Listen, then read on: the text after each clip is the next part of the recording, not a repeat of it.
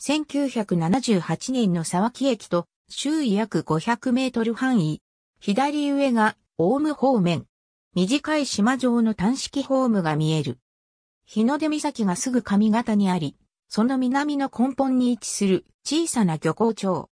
国土交通省国土地理院地図、空中写真閲覧サービスの空中写真をもとに、作成沢木駅は、かつて、北海道門別郡大務町あざ沢木に存在した、日本国有鉄道高品南線の駅である。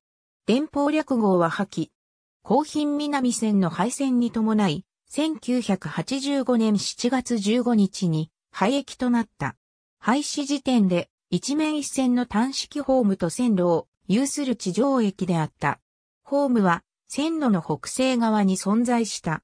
このほか、オウム方から駅舎側に分岐する側線を一本有していた。このホームは本来島式ホームで、高品線全通の際には、列車交換可能な廃線とする計画があったことが指摘されている。無人駅となっていた。駅舎は構内の南西側に位置し、ホームとは通路で連絡した。友人駅時代の駅舎は改築され、なぎさ勝線下諸骨駅や、高品北線豊牛駅などと同型の駅舎となっていた。改築の際に、線路未付設側のホーム上に位置変更している。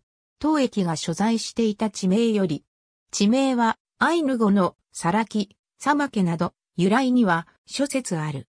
2000年時点で当駅の跡地は小公園になっており、駅名標や名所案内も残っていた。